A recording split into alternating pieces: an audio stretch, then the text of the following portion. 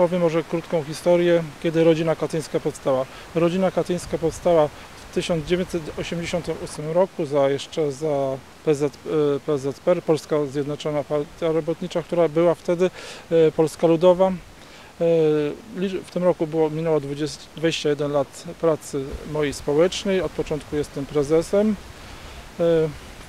Dzisiaj były uroczystości w Gębicach, na cmentarzu parafialnym w Gębicach.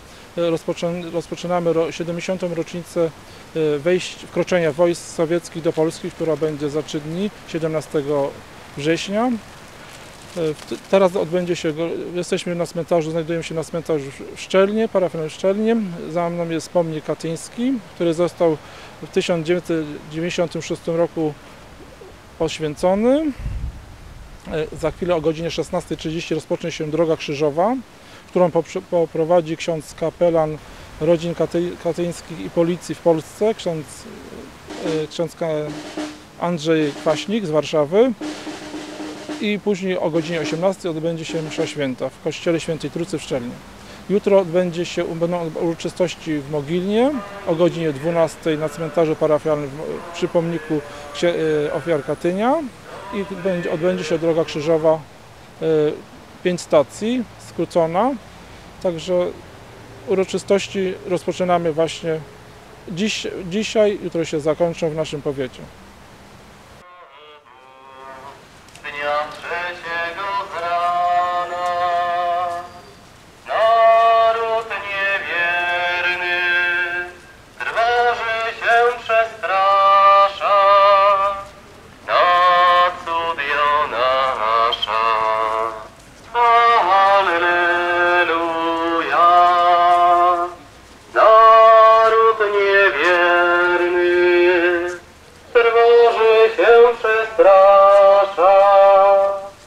Na cudio nasza.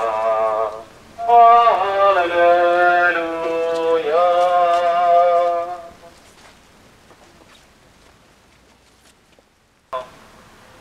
Stąd prosimy dobrego Boga, aby przyjął naszych zmarłych do pełni szczęścia wiecznego w Królestwie. Takie mamy przecież przekonanie, że oddali swoje życie, a Bóg to życie przyjął. A teraz apel za naszych zmarłych i poległych.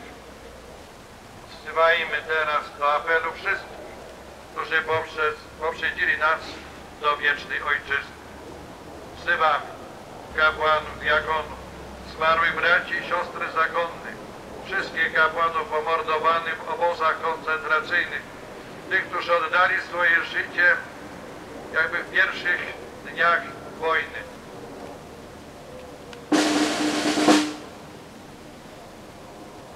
Módlmy się, aby Bóg wiekuisty pasterz przyjął do wiecznej chwały wszystkich, którzy mieli udział w świętej posłudze Kościoła Chrystusowego.